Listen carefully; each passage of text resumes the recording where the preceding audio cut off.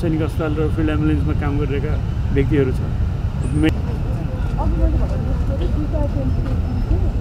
र ह्याचु स्याचु नै गर्नुभयो भने यो दुरी त हाम्रा अहिलेको लागि वान मिटर मिनिमम चाहिने पुस्न मिल्ने खालको त्यो म्याट्रेसहरू राखेको हुन्छौँ सो द्याट त्यो पछि चाहिँ डिसेन्ट पछाडि पछाडि उता उता उता एकजना गयो हुन्छ नि उतातिर भए पनि हामीले सङ्क्रमित बिरामीको शङ्का गऱ्यौँ अथवा डलिङको फर्स्ट म्याट ह्यान्ड हाइजिनमा हामीले अहिले ह्यान्ड ड्रप गर्दैछौँ यो ह्यान्ड ड्रप लिने त्यसपछि हातको पछाडि छ नभए जम्प सुटको सट्टामा हामीले गाउन युज गर्ने हो भने चाहिँ हाम्रो सु यो ग्लोभ्स चाहिँ सकेसम्म माथिसम्म माथिसम्म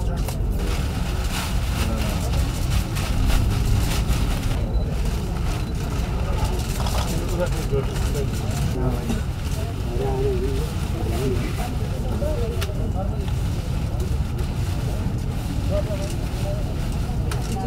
हाम्रो हिसाबमा हामीले चाहिँ के छ भने वीरेन्द्र अस्पतालमा चाहिँ दसवटा बेड हो आइसोलेसन बेड। र अहिलेसम्मको अवस्थामा अनि हाम्रो सैनिक अस्पताल पोखरा इटहरी नेपालगञ्जमा दुईवटा त्यस्तै अनि फिल्ड एम्बुलेन्सहरूमा हाम्रो अठारवटा फिल्ड एम्बुलेन्सहरूमा चाहिँ दुई दुईवटाको दरले चाहिँ राख्नु हुने आदेश दिएको छ निर्देशन दिएको छ। त्यस्तै जिओपिडीहरूमा पनि राख्नु हुने निर्देशन छ।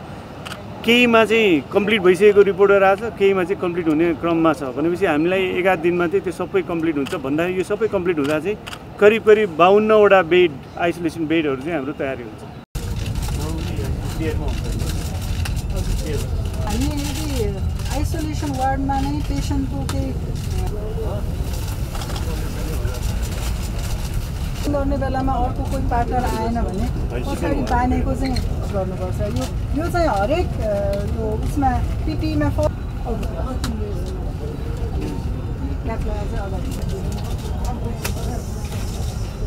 क्याप लगाएर चाहिँ अगाडि अल्ट्रा ग्लोभ पट्टि फर्काउँदै लानु पर्यो।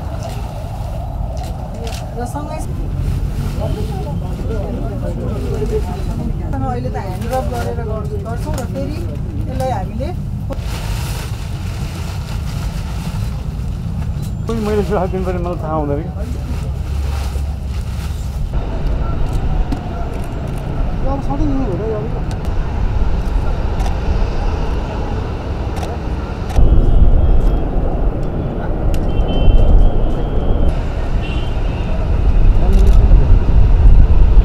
सबैको सबैभन्दा राम्रो रातोपाटी डट कम।